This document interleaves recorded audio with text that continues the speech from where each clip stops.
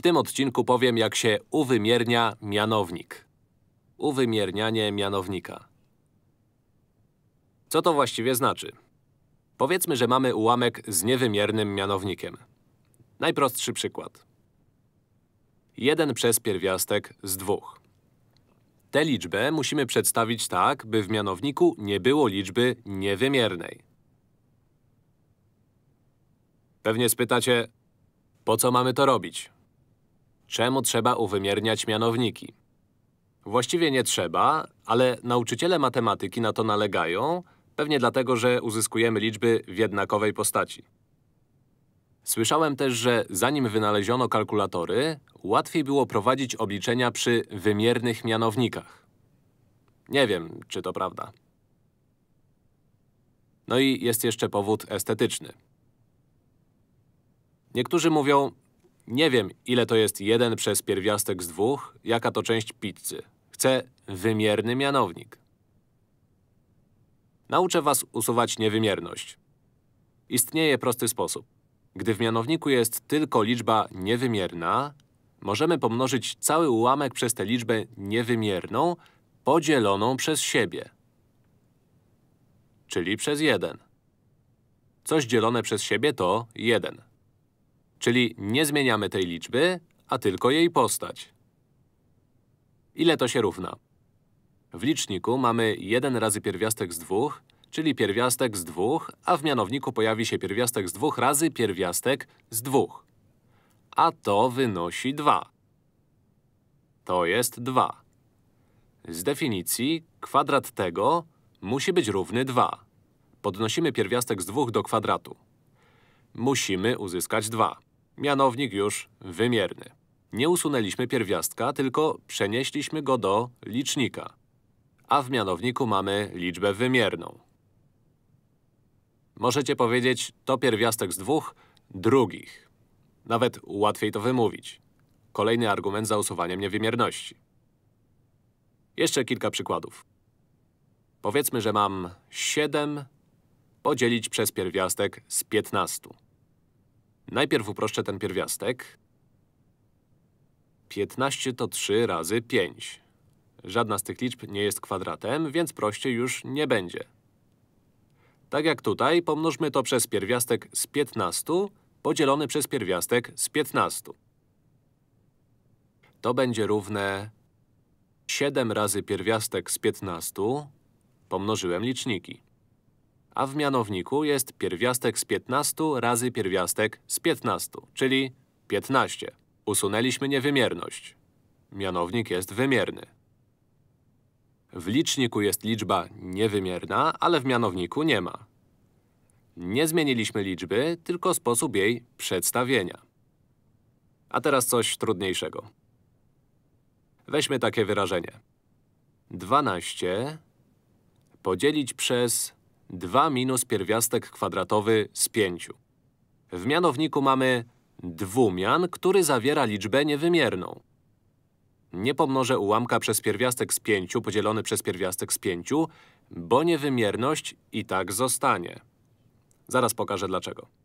Jeśli pomnożę to przez pierwiastek z 5 dzielony przez pierwiastek z 5, to w liczniku będę miał 12 pierwiastków z 5, a w mianowniku 2 pierwiastki z 5 minus pierwiastek z 5 razy pierwiastek z 5, czyli 5.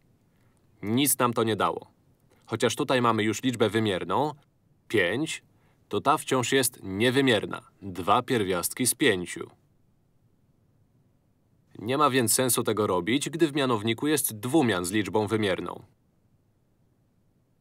Tu pomoże jeden ze wzorów skróconego mnożenia. Zróbmy to obok. Nauczyliśmy się dawno temu, a może nie aż tak dawno, że jeśli mamy, powiedzmy, 2 minus pierwiastek z 5 i pomnożymy to przez 2 plus pierwiastek z 5, to uzyskamy co? Pamiętacie? Nie? Obowiązuje ta sama zasada, co a minus b razy a plus b. Zgadza się? a minus b razy a plus b. Parę odcinków temu dowiedzieliśmy się, że to a kwadrat minus b kwadrat. Dla przypomnienia, a razy a to a kwadrat plus a razy b, czyli ab minus b razy a, więc znów ab i jeszcze minus b razy b, co daje nam minus b kwadrat. To się zeruje, więc zostaje a kwadrat minus b kwadrat. Zatem 2 minus pierwiastek z 5 pomnożone przez 2 plus pierwiastek z 5 będzie równe 2 do kwadratu, czyli 4, zapiszę, to będzie 2 kwadrat minus pierwiastek kwadratowy z 5 do kwadratu. A to po prostu 5. Całość będzie równa 4 minus 5, czyli minus 1.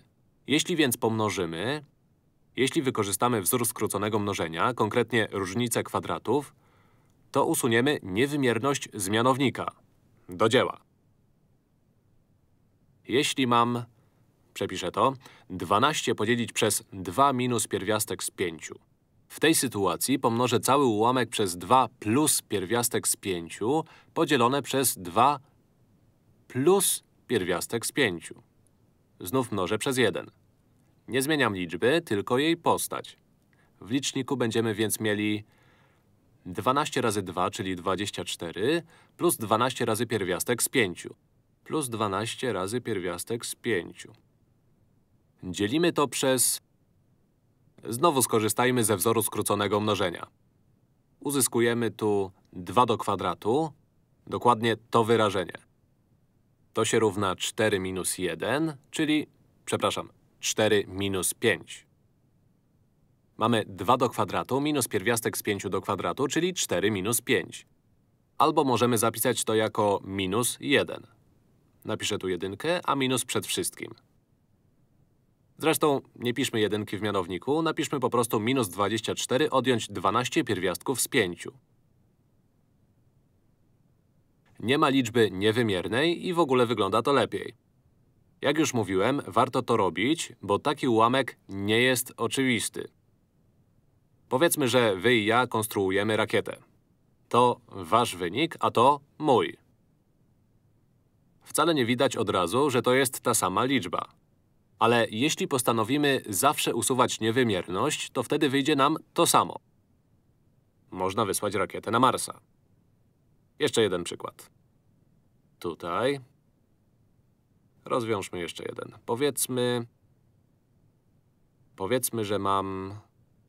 Może teraz dajmy jakąś zmienną.